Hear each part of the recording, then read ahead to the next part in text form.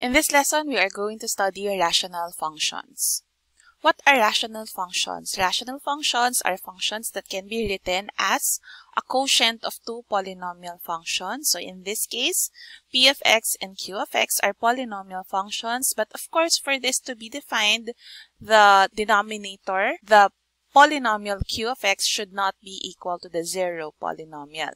Here are the graphs of some examples of polynomial functions. This is the graph of the function 1 over x. This is the graph of the function 1 over x squared. In order to discuss the behavior of the graphs of rational functions, we have to discuss asymptotes. First, let us start with vertical asymptotes. Suppose that we have a rational function. And as x approaches some number c, the values of r of x become more and more positive or more or more negative, we say that the line x equals c is a vertical asymptote.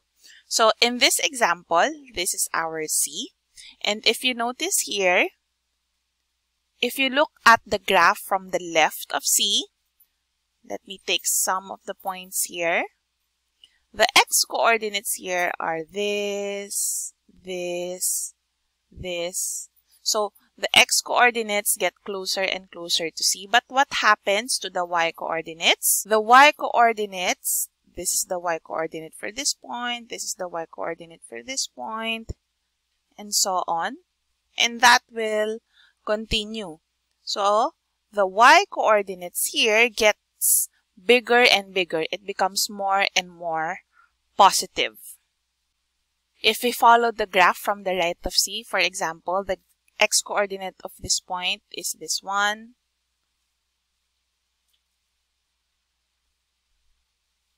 So notice that the x-coordinates here gets closer and closer to C. What happens to the y-coordinate? The y-coordinate of this point is this. The y-coordinate of this point is this, and so on and so forth. So if you continue this, what happens to the y-coordinates? The y-coordinates become more and more positive. So in this case, we say that as x approaches c, it means that as x becomes closer and closer to c, the y-coordinates approaches positive infinity because y gets bigger and bigger. Now, it could also happen that as x approaches c, y becomes more and more negative. So for example, in this case, if you follow the graph from the left of c, what happens to the y-coordinates? The y-coordinates here become more and more negative. So as x approaches c, okay, however, we're coming from the left of c, so we indicate that by negative sign there we say that y approaches negative infinity. What about in this case over here? We are coming from the right of C. If we follow the graph from the right of C, what happens to the y-coordinates? Again, it becomes more and more positive. So for this graph over here, we say that as x approaches C from the right, your y coordinates approaches positive infinity because y gets bigger and bigger. So if you have this value of c over here, if this happens, at least one of these two scenarios happened, we say that this vertical line here, x equals c, is a vertical asymptote of the graph of R let us take a look at the two graphs that I have shown earlier. For the function 1 over x, what would be a vertical asymptote here? Look at your y-axis. So in this case, as x approaches, this is 0, right? As x approaches 0, your y approaches positive infinity, it becomes bigger and bigger. But it's coming, we're coming from the right of 0. And from here, as x approaches 0, but we're coming from the left of 0, your y approaches negative infinity, correct? So we say that x equals 0 is a vertical asymptote. It's actually the only vertical asymptote. What about for y equals 1 over x squared? Same thing is happening here, but in this case, in both directions, either from the left or from the right, the y coordinates gets bigger and bigger, right? So we say that as x approaches 0, y approaches positive infinity. So here, the y-axis or x equals 0 is a vertical asymptote as well. Here's another example of a rational function. Let us determine the vertical asymptote. This is the graph of x minus 2 all over x minus 3 times x plus 2. What would be the vertical asymptotes here? Take a look at this line over here. This line over here is a vertical asymptote. What else? This line over here as well that is also a vertical asymptote. What is the equation of this line? It passes negative 2. The equation of a vertical line passing through negative 2, 0 is x equals negative 2. And for this one, it passes through 3, 0. This is x is equal to 3. But the problem is how do we identify the vertical asymptotes of a rational function without plotting the graph? So we use this theorem. In locating the vertical asymptotes of irrational functions, first we have to express it in lowest terms. Take note, the rational function should be in lowest terms. If it's already in lowest terms, the denominator, q of x, will determine the vertical asymptotes. How do we determine the vertical asymptotes?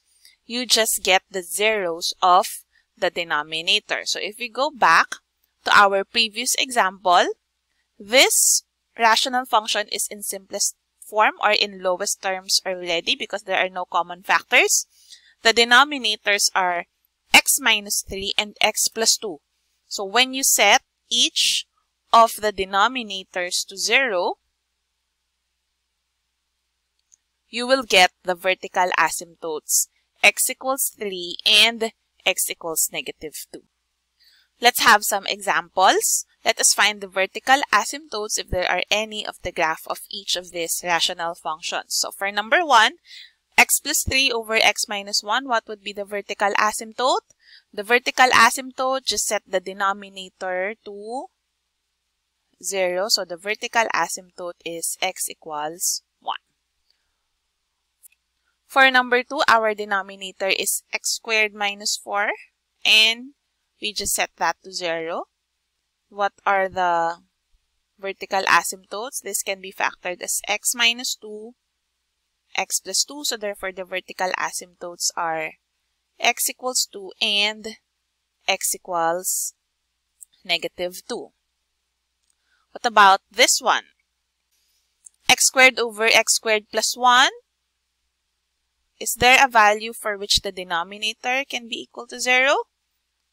But this would mean that x squared equals negative 1. This one has no real solution. So since it has no real solution, it has no vertical asymptote.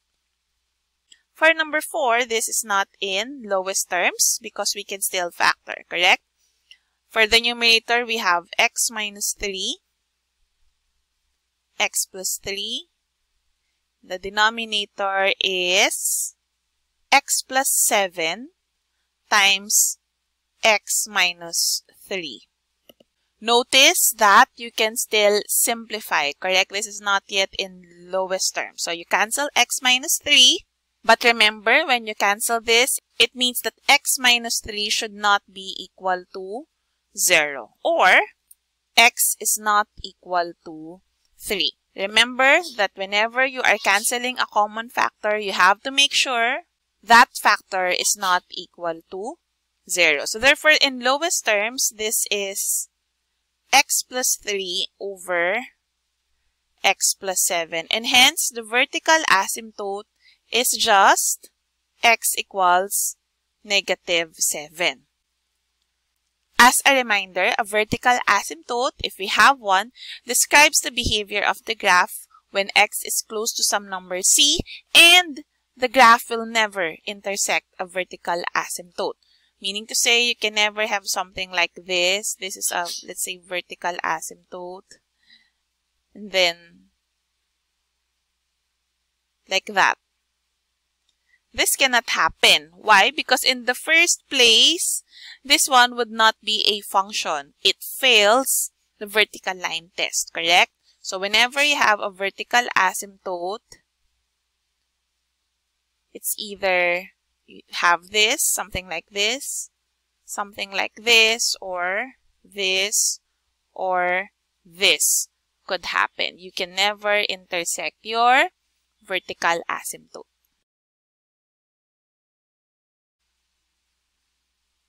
Next, let us discuss horizontal asymptotes. Again, we have a rational function r here. Suppose that as x approaches infinity, what does this mean? x approaches infinity means that x becomes more and more positive. Alright, so meaning to say you are following the graph going to the right. Okay, when x becomes more and more positive, what happens to the values of r of x? Take note that r of x is your y coordinate for the function because the function is y equals r of x. When the values of y approach some fixed number L, we say that the line y equals L is a horizontal asymptote. So for example, this graph over here, as x becomes more and more positive, look at that one. If we follow the graph, what is the y coordinate of this one? It's this one. It's this one. It's this one, and so on. So what happens to the y coordinates? They get closer and closer to a fixed number L. For this case, your x becomes more and more negative. So for the second case, you have x approaches negative infinity. This means that x becomes more and more negative. So look at this one. If you follow these points over here in the graph, the x coordinate of this is this, this, this, and this, and so on. So you move away from the origin, you're going to the left, so that's why your x becomes more and more negative. What happens to the y coordinates? For this point, the y coordinate is this, this, this, this, and so on. So as you move the point here, your x approaches negative infinity, but your y coordinates approaches L. Alright? So if you have that number L, that is how your graph will look like. Then we have a horizontal asymptote. Recall that the equation of a horizontal line is y equals something. So let us identify the horizontal asymptotes for y equals 1 over x. Look at this part over here. You have the x-axis as the horizontal asymptote. And what is the equation of that line? That is y equals 0. Same is true for the function 1 over x squared. You have a horizontal asymptote here. The horizontal asymptote is y equals 0. Here's another example.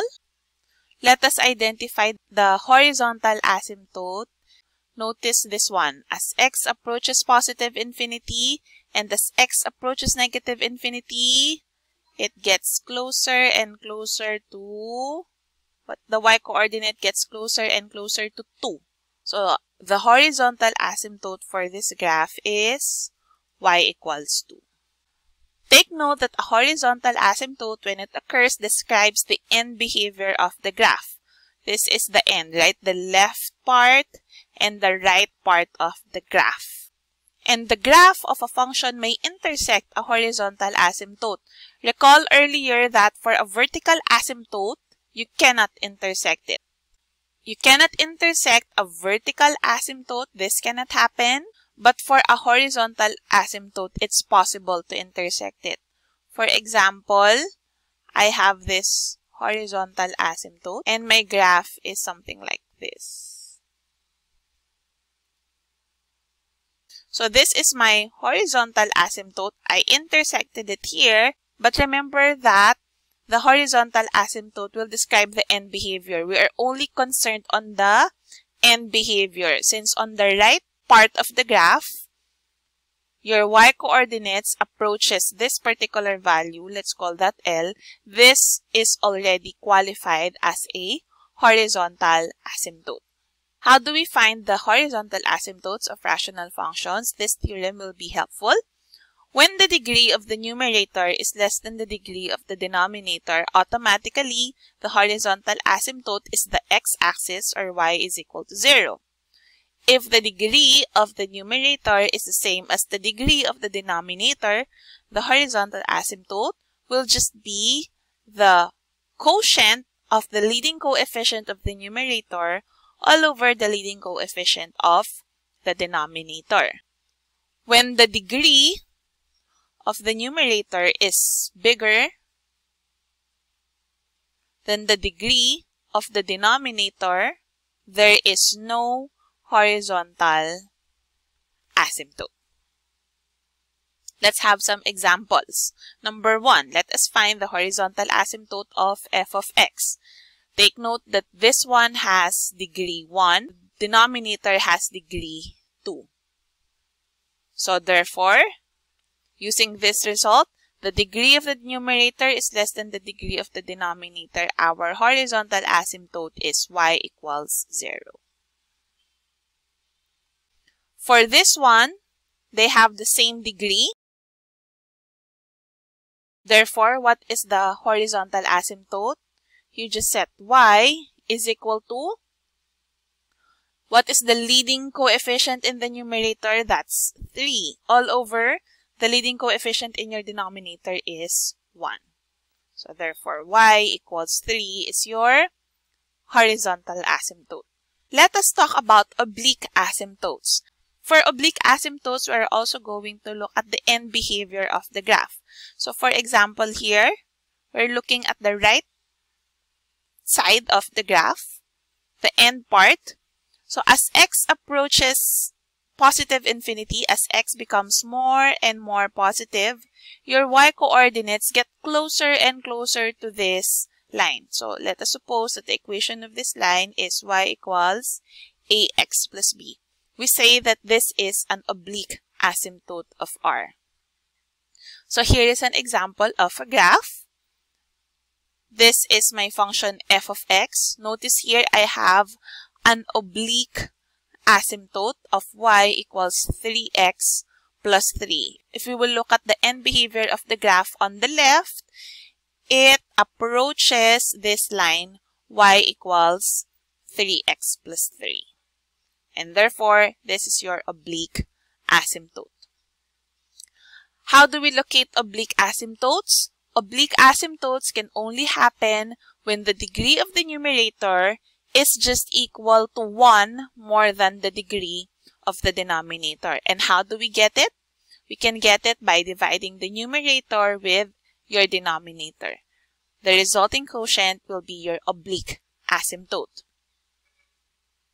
So for example, let us find the oblique asymptote of this function over here. Take note that the degree of the numerator is 1 more than the degree of the denominator. This one has degree 2. This one has degree 1. So therefore, for the oblique asymptote, you just have to divide the numerator by the denominator. First term divided by first term is 2x. 2x times 4x minus 1 is 8x squared minus 2x. Subtract, we get 26x minus negative 2x is 28x minus 8. First term divided by first term, so that's 7 so we get 28x minus 7. So when we subtract again, we get negative 1. Now, remember that we are only concerned with the quotient. The oblique asymptote is just the quotient y equals 2x plus 7. So I have here the graph of the function. Let us verify the oblique asymptote that we obtained. This blue line is the graph of y equals 2x plus 7. So if we zoom out, notice that one. On the left and on the right side, the end behavior, it really approaches this line. Now suppose instead that I change this to 7 instead of 8. If you look at this one earlier, if this one is 7, the remainder here is going to be 0, which means that this expression in lowest terms is 2x plus 7. We can verify that because the numerator actually has a factor of 4x minus 1. So it will be cancelled out. 4x minus 1, this is 2x plus 7 all over 4x minus 1.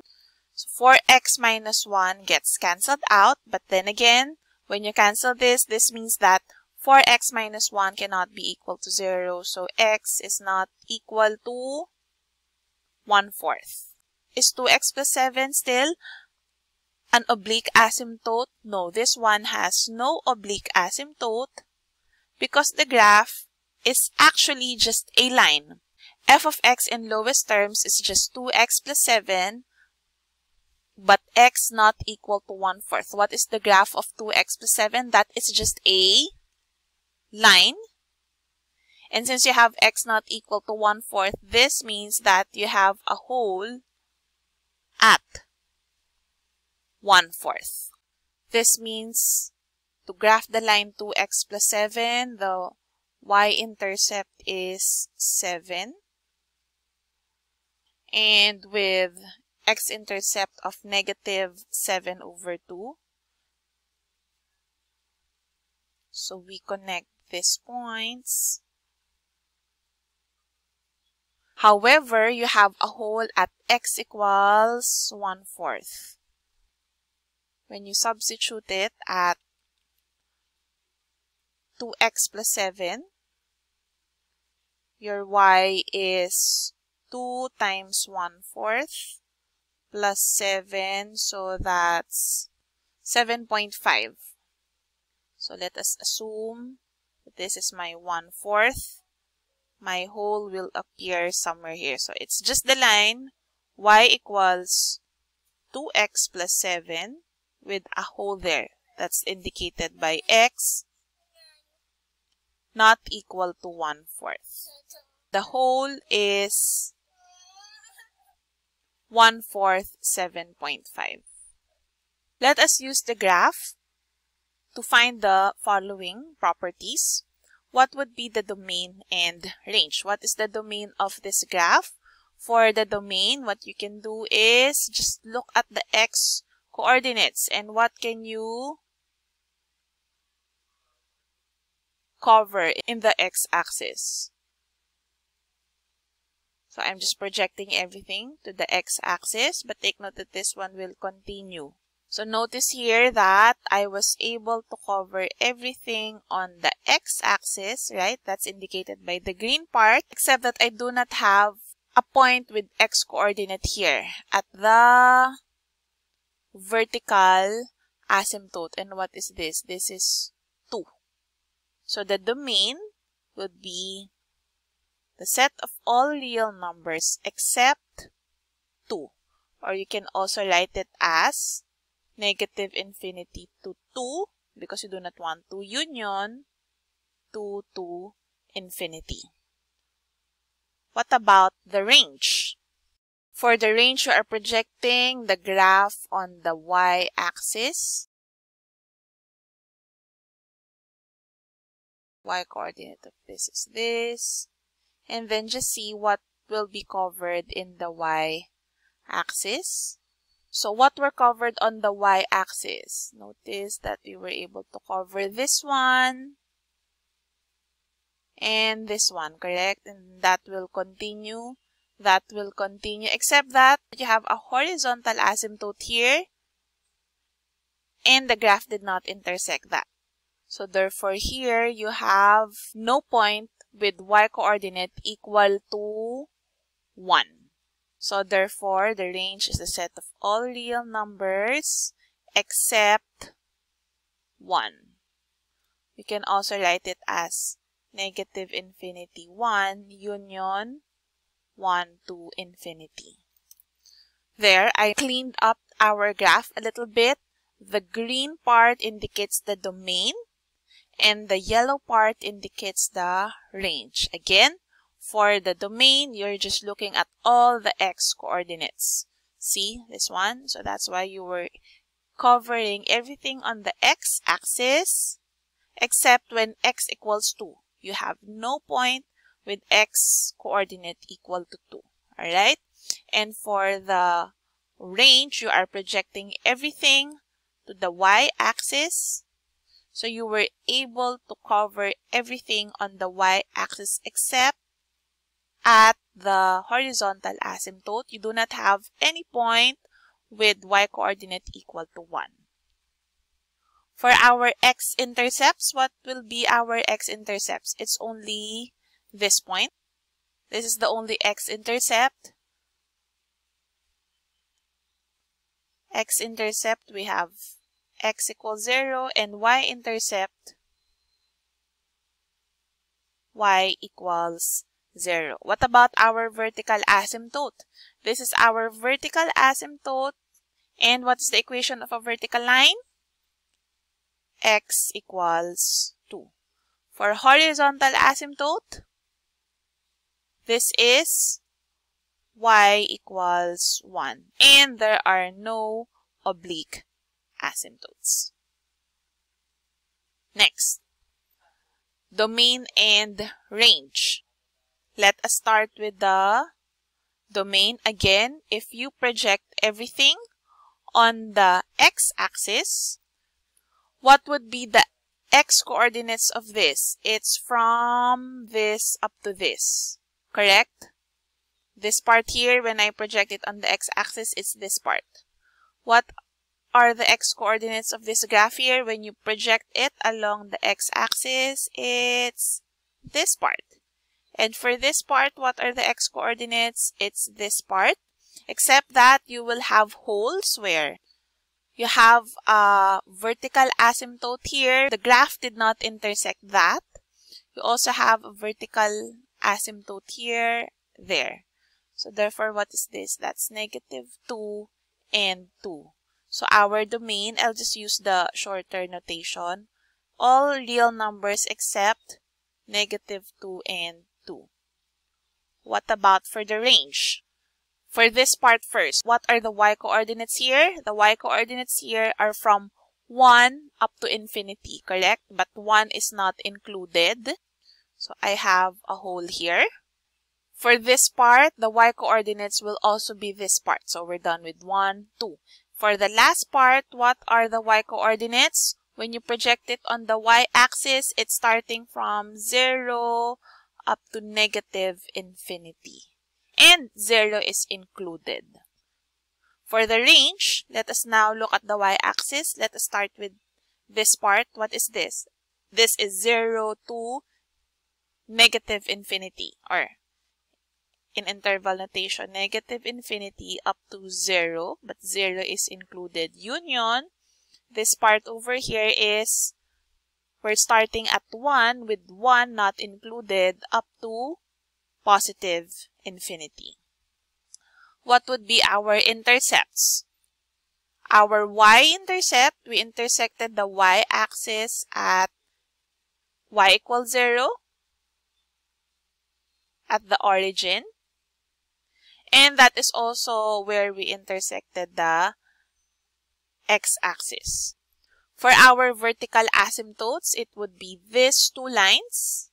What is that? That is x equals negative 2 for this one. And this one here is x equals 2. For our horizontal asymptote, it's this line. and that's 1. So therefore that is y equals 1. Again, no oblique asymptotes. Let us look at this graph. There are two parts in your graph, this part and this part. First, let us get the x-coordinates of this part over here. When you project it on the x-axis, what are the x-coordinates? It's from, take a look at that. That's, that will continue there, right? So what would be the x-coordinates? It's starting from 0 up to negative infinity because this one will still continue. But we have a hole at x equals 0.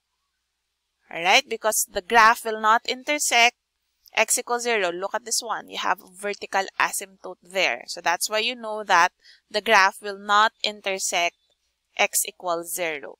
So this is a hole. For this part over here, what will be the x coordinates? When you project it on the x-axis, you get everything here. Right? Again, 0 is not included. So therefore, our domain is all reals except 0. What about for our range?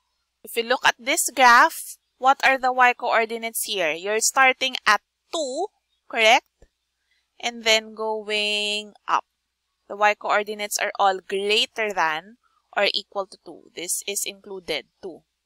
For this one, the y coordinates are starting at negative 2 and then going down. Therefore, our range is composed of this 2 here. This one is negative infinity up to negative 2. Negative 2 is included because look at this one. You have a point with y coordinate equal to negative 2 union starting at 2 going up. So that's 2 up to infinity. Do you have any intercepts? Look at your x-axis. The graph did not intersect the x-axis and the graph did not intersect the y-axis as well. So it's none. For vertical asymptotes, what would be our vertical asymptotes? This one, the y-axis or x equals 0. We do not have any horizontal asymptote, but we do have oblique asymptotes. This one. What would be the equation of this line? Take note that your line passes through 0, 0. So it has a slope of, what is the slope? If we use the formula, that's rise over run. So that's 1 minus 0 all over negative 1 minus 0. That's negative 1. And the y-intercept of this line is 0. So therefore, this the line y equals negative x. In our three examples, we were given the graph of a function and we were supposed to find this. For our last example, we are just given the equation of the function and we have to look for all of this. Let us start. For the first function, for our domain, how do you get the domain? You just make sure that the denominator is not equal to 0. So hence, x should not be equal to 4. We can write it as r, take away 4.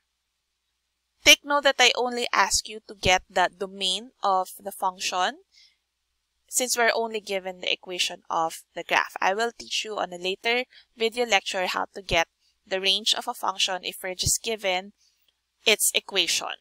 Next, let us look for the intercepts. For the x-intercept, how do you get the x-intercept? When the function is equal to 0. But a rational function will only be equal to 0 when its numerator is equal to 0. So remember that. You get the x-intercept from the numerator. So we have 3x plus 4 equals 0 and therefore x is equal to negative 4 thirds. What about the y-intercept? For the y-intercept, you set x to 0 just like as before. So what is y when x is equal to 0? We get 4 over negative 4 or negative 1. Next, vertical asymptotes. How do we get the vertical asymptotes? We just set the denominator to 0. This is in lowest term, so we can easily set x minus 4 to 0, and therefore the vertical asymptote is x equals 4. What about our horizontal asymptote? The degree of your numerator and the denominator are equal. And therefore, the vertical asymptote is just the leading coefficient of the numerator over the leading coefficient of the denominator. So we get y equals 3. We do not have oblique asymptotes because oblique asymptotes only happen when the degree of the numerator is 1 more than the degree of the denominator. Next, g of x equals this function. First, let us factor and see whether we can still express this in lowest terms. Make sure that you always factor your numerator and denominator. So for the numerator, this can be factored as x plus 1, x plus 5. Our denominator can be factored as 2x plus 5 times x plus 1. And therefore, you can cancel x plus 1, but do not forget x not equal to negative 1. So now, you will just look at the lowest terms. We have x plus 5 over 2x plus 5 with x not equal to negative 1. Now, what will be your domain? You already indicated here that x is not equal to negative 1. Of course, the denominator 2x plus 5 should not be equal to 0 as well. So that's why you have not equal to negative 5 halves. For our intercepts, you get the x-intercept from the numerator. So from the numerator, x plus 5 is equal to 0. Hence, x is equal to negative 5.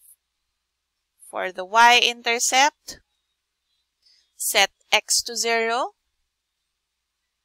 and therefore your y is equal to 5 over 5 or 1. For the vertical asymptote, where do we get that? From the denominator. You just set the denominator to 0. And therefore, we get that x is equal to negative 5 halves. So as you notice here, once you have your rational function in factored form, setting the numerator to 0 will give you your x-intercept and setting your denominator to 0 will give you your vertical asymptote. Do not forget that. What about for horizontal asymptote? Just like in the previous example, the degrees of the numerator and the denominator are equal. And therefore, our horizontal asymptote is just the quotient of the leading coefficient. So it's 1 over 2. And if we already have a horizontal asymptote, of course, we have no oblique asymptote. Lastly, let us do this for h of x. First step is to always factor x cubed minus 8 in factored form. That is x minus 2 this is x squared plus 2x plus 4. Difference of two cubes, do not forget that. And x squared minus 5x plus 6 is x minus 2, x minus 3. Hence, you can cancel x minus 2, but make sure that x is not equal to 2. Let's write this in simplest form. We have x squared plus 2x plus 4 all over x minus 3 x not equal to 2. Let us start with our domain.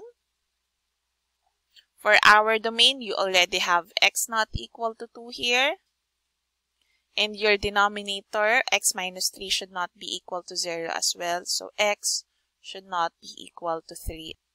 For the intercepts, for the x-intercept, set the numerator to 0.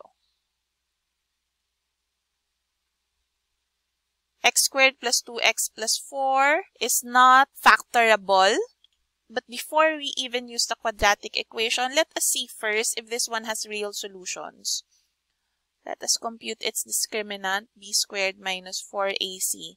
That is 4 minus 4 times 1 times 4, which is negative, which means that we have no real solution for this equation, which means that we have no x-intercept. We will not intersect the x-axis. For the y-intercept, set x to 0. So we're left with 4 over negative 3 or negative 4 thirds. Lastly, for our asymptotes, vertical asymptote, you just set denominator to 0. So we get that x is equal to 3. Do we have a horizontal asymptote? No, because the degree of the numerator is 1 more than the degree of the denominator. So we have no horizontal asymptote, but we do have an oblique asymptote the degree of the numerator is the degree of the denominator plus 1. And therefore, we simply divide the numerator by the denominator. This will give us x